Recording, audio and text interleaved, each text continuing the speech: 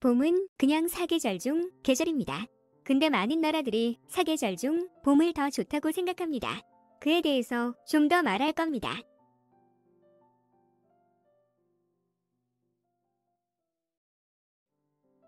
봄은 새로운 순환, 새로운 생물의 의미가 있습니다.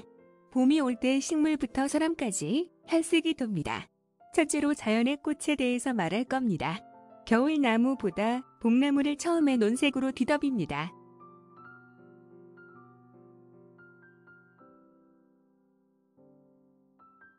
그리고 봄에 따뜻해지면서 사람들도 혈색이 돕니다. 봄에 자연하고 사람들이 아름답게 해지고 다양한 활동을 할 수 있게 됩니다.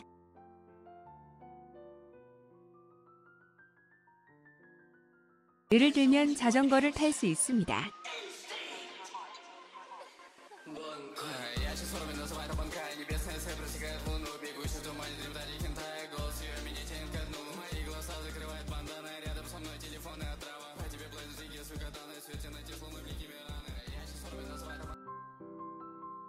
그리고 겨울보다 사람들이 자주 밖에 나오고 싶게 했습니다.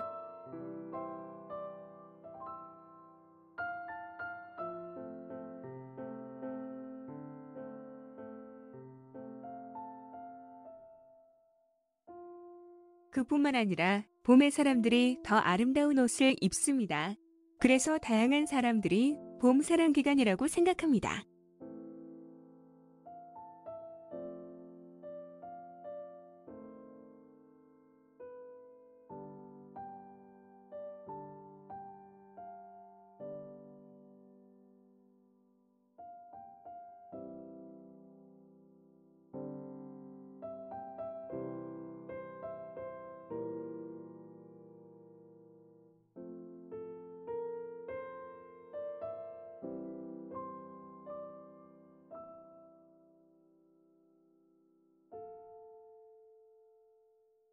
봄은 아주 아름다운 기간이라고 생각합니다.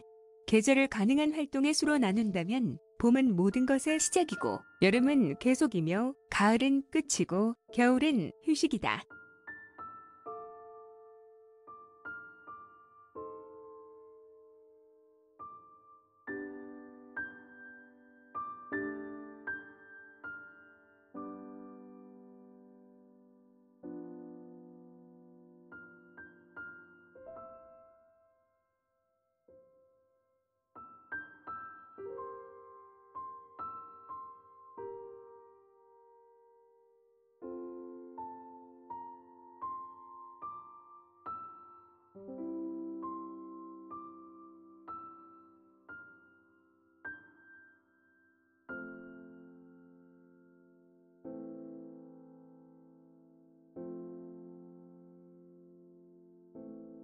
그러니 우리 삶의 모든 순간을 즐겨봅시다.